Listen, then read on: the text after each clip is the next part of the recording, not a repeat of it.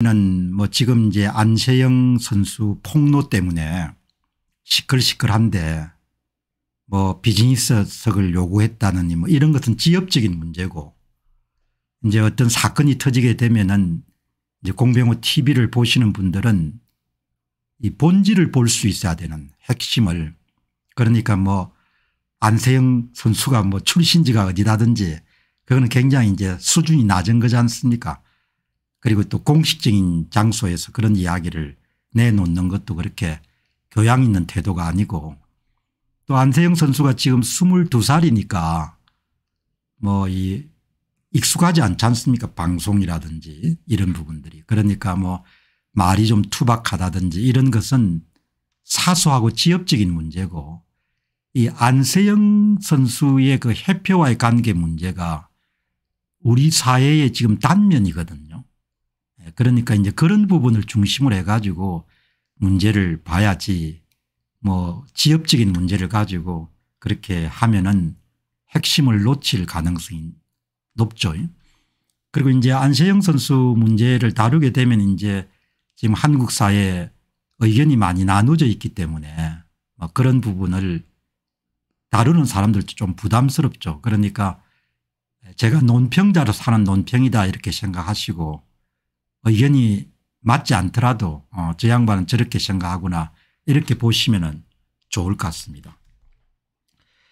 자 이제 일단은 이 한국 사회가 이제 굉장히 그 이 경제학자들은 한국 사회를 담합 사회로 보거든요. 일본 말로 땅고 예, 그리고 영어로 카르텔 이렇게 보지 않습니까 그러니까 예를 들면 테니스 업계 그다음에 좀 개인 성향이 강한 골프 업계는 좀 제외하고 배드민턴 뭐 씨름 유도 이런 데서는 그 사회의 침묵의 어떤 그런 약속 약조 같은 것을 어기고 그 사회가 갖고 있는 그런 문제점을 노출시키게 되면 대개 매장을 시키지 않습니까 예, 배드민턴 업계에서도 뭐 이용대 선수라는 게 우수한 선수들이 있었지 않습니까 되게 소리 소문 없이 피겨 스케이트 업계도 마찬가지고 이게 굉장히 강한 그런 한국 사회의 특징이 담합 사회거든요. 콜루전 카르텔 일본말로 땅고 예, 그러니까 이제 침묵을 대부분 다 하는데 이번에 이제 안채영 씨가 그걸 이제 발설을 해가지고 이제 그 내부를 한번 들여다보게 되면은 배드민턴 협회만의 문제가 아니고 한국이 당면하고 있는 지금 문제고 그다음에 그 문제가 제가 지켜본 30년을 보게 되면은 거의 바뀌지 않았거든요 한국 사회가. 그러니까 제가 자주 생각하게 되는 것은 한 사회 한 민족의 문화적 유전자라는 것은 굉장히 질기고 강하구나 그런 생각을 하게 되거든요. 세대가 바뀌면 어떨지 모르겠는데 뭐 지금 정치판에서 일어나는 걸 보게 되면 은 젊은 세대도 거기에 편입되게 되면 대부분 다 그 문화적 유전자로부터 그렇게 벗어나지가 못하는 그런 경향이 있는 거죠. 이제 어떻든 이 안세영 선수가 피해를 볼 가능성이 높습니다. 왜 그런가 하니까 기성세대들은 돈도 있고 네트워크도 있고 친분도 있기 때문에 뭐 한 젊은 친구가 좀 뭐 또라이다 이렇게 밀어붙일 수가 있는 거죠. 예, 그러니까 그리고 또 이 안세영 문제는 한국에서 공직선거 선거 공정성 문제를 덮은 거나 지금 지금 진행되고 있는 의료 사태에서 지금 기성세대들이 전공의와 의대생들을 대하는 거나 큰 그런 틀에서 보게 되면 아주 유사한 문제입니다. 그래서 안세영 씨가 어디 출신이다. 안세영 씨가 뭐 말을 좀 함부로 했다. 지가 뭐 똑똑하다고 이렇게 보지 마시고 안세영 씨가 터뜨린 문제의 본질 한국 사회가 개선해야 될 점을 중심으로 볼 수 있어야 좀 현명한 그런 판단을 하고 사회가 좀 나아질 수 있지 않겠느냐 그런 생각을 제가 하게 됩니다. 자 그리고 이제 이 의사 문제만 그동안 집중을 해왔는데 이 간호사분들이 1년에 2만 2천 명 정도가 배출이 되네요. 어마어마한 숫자네요. 예. 많을 것이다 그렇게 생각했지만 2만 2천 명 정도가 배출이 되는데 그 가운데서 이제 대형 병원 주로 이제 수련병원 이런 병원에 이제 올해만 하더라도 2만 2천 명 가운데서 1만 2천 명이 아마 이제 취업이 된 모양입니다. 그 가운데 2천 명이 이제 지금 일을 하고 있고 나머지 1만 명 정도는 대기 상태인 모양이에요. 그러니까 취업 대기 합격 통지서는 받았는데 이번에 의료 사태 때문에 이제 뭐 의료 사태는 기본적으로 지금 재직하고 있는 간호사분들도 타격을 받지 않습니까? 무급 휴, 휴가나 뭐 이런 걸로.